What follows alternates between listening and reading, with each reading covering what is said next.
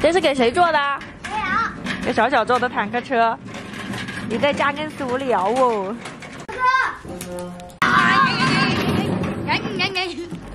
把我戳到了，待会儿。大家好呀，我是妍妍。这两天都没有给大家更视频，今天给大家看一下我们这前面院子里面的一个现状。你看，好多银杏树叶，每年的这个时候都要弄那个银杏树叶，因为这两天口罩的原因，借此机会呢，也想好好休息几天。所以说这两天视频也没有跟，好好的在家里睡懒觉。这会儿来给大家看一下。你不是说你不拍，你不发视频了吗？我休息两天嘛，我这会儿想给大家看看我们家的肉肉。你看我们这小家伙，直接拖个地垫，在这里玩玩具。你看，这是你的秘密基地吗？这啥？你看，每年我都要剪一次这个，不是剪一次，剪好几次这个银杏树叶，每年都超多的，要等它吹一次大风，全部掉完就好了。每年都是必不可少的工作。先从我们的三轮车里面吧，边剪的时候，来把我们大门放好，边剪给大家边看一下家里的肉肉的近况。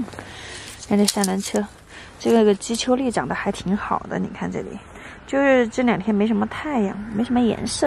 有颜色的话就很好看，粉粉的。这个是之前的那一颗大白凤放里面的，现在唯独的就是当时不是插的砍头的进去嘛，现在长得还挺好。主要是它长得很精神，虽然说没什么颜色。丝绸面纱、哈里沃森，是不是都超精神？再加上配上这个绿色的小草，就格外的精神。看，还有这里有一颗那个薄叶蓝鸟，也很漂亮。这边的肉肉虽然断崖式的降温，一下子降到了两度，但是这些肉肉都没有那个都没有遮，因为在我看来，根据以往的经验，没有低于零度，长时间低于零度有霜的情况下，它就没有关系的。你看，这是一颗那个侧影。然后这边还有一颗，这个是那个晨露，这颗晨露还不是很好的状态。因为这个群生的奥普林娜，等到春天的时候还想给它换个盆儿呢。你看这一个肉肉，我就等它叶子下面的消耗，因为它下面不好看，上面慢慢长好了就好看了。跟那个巴黎王子这个红边边还是挺好看的。就是我要有时间，我要得弄点水把它们冲洗一下，因为在马路边好多灰。超多的灰尘，所以说看起来不那么美丽。嗯，看这颗地比，捧花地比，希望它从这里一圈圈的再冒一圈仔出来。还有这边还有一颗，这个是那个美杜莎。美杜莎其实出颜色真的很好看，我特喜欢美杜莎，就是那个时候进入初夏的时候就特好看。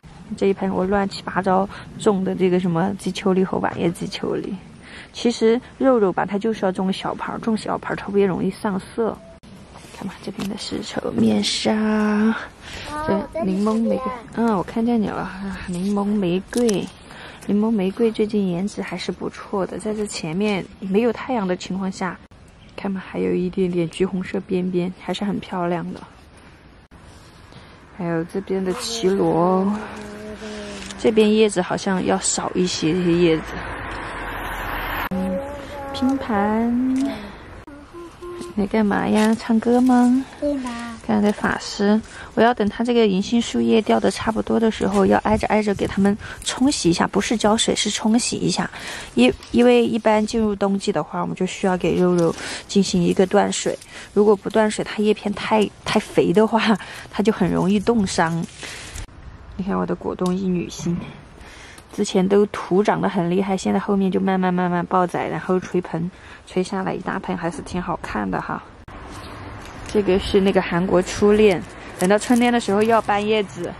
其实你看，我觉得每个肉肉的下面配一些这些草，这样子爆盆的也挺好看的哈。还有这一颗超级大白凤，这个白凤我感觉长大了不少，有点点倒戈的那种感觉，就是长太大了这颗白凤。超大，这个是金龙月，这叶子多的嘞。你不给它剪了，它那个本来现在光就不足，不剪的话，它会越来越绿，越难看。你给它剪了，它有一点光嘛，还会好看一点点。你看这个莲花做的最容易接这些叶子了。这两天好冷呀，突然就冷得不得了。我今天还戴了帽子，今天有点丑，就不给大家看看我了。这边还有好大的工程，这些肉肉，其实好多肉肉都是很绿的。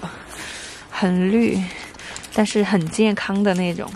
它不是就是说特别有颜色，这都是用来种大盆的。我觉得要上颜色，还是要用那个小盆种大肉肉，土脚不那么厚的时候，它颜色就会格外的好看。这个好像也是那个巴黎王子，跟这个是一个品种，看不出来吧？差异还是挺大的。看这边这个花之鹤，其实颜色很好，就是因为我路养的，它有长那个斑。你看小雨，一个人拖个垫子在这前面玩了好半天了。嗯，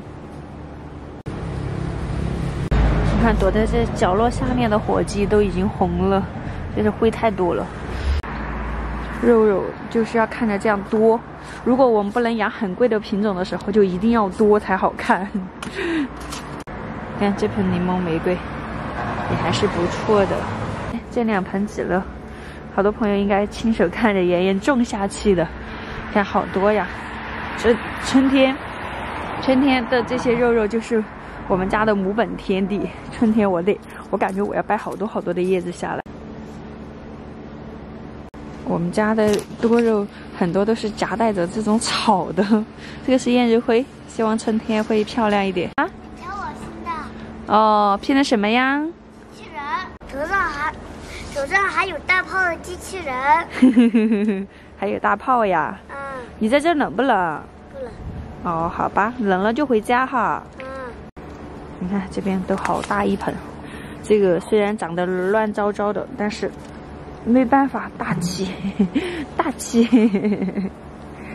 看这个清新美人，清新美人，我准备。春天的时候给它搬一些叶子下来，现在好多地方都没有这个品种了。姐这后面这里，这里就摆了一些，看吧，全部都是种的这个拼盘，种在这个大坛子里面的。这些肉肉，我觉得晒一个太阳有这个温度，肯定就不得了，美得很。我的天呐，这个还是要剪好一段时间，手都有点冷兮兮的。但是看着这些肉肉这么精神，怎么撒出去它又飞回来了？你看这些多肉。